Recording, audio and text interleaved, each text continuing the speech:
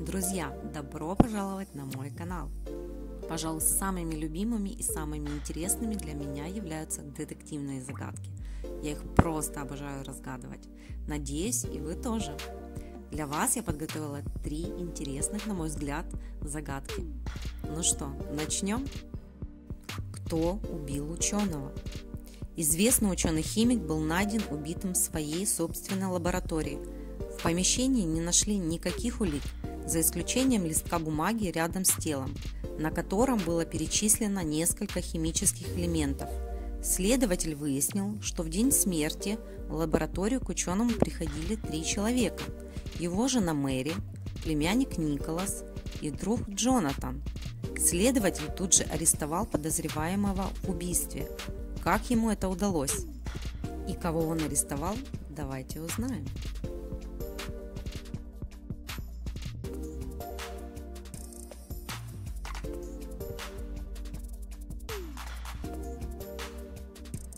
Подсказка была на клочке бумаги, лежавшем рядом с жертвой. Если сложить буквы, обозначающие химические элементы, то получится имя Николас на латинице. Загадка номер два. Серийный убийца.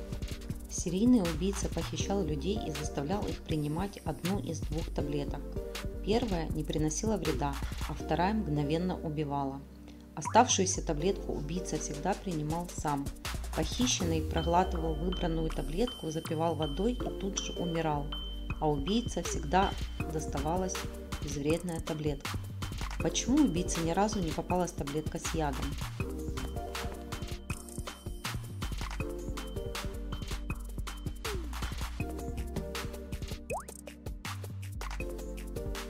Дело в том, что обе таблетки были абсолютно безвредными, а яд был в стакане с водой, предназначенным для жертвы.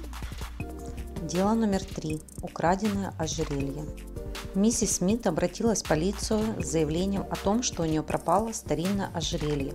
Когда полицейские прибыли на место, то увидели, что ни на двери, ни на окнах нет следов взлома, и только одно окно разбито.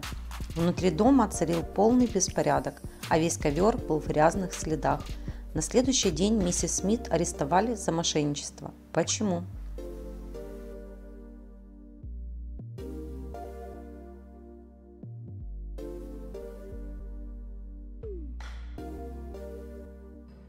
Если бы окно разбили с улицы, в комнате были бы осколки. Осколков нет, значит окно было разбито изнутри. Вероятно, это сделала сама миссис Смит, которая находилась дома. Надеюсь, вам понравилась моя подборка загадок. Если да, палец вверх. Подписывайтесь на канал. Всем спасибо за просмотр и до скорых встреч!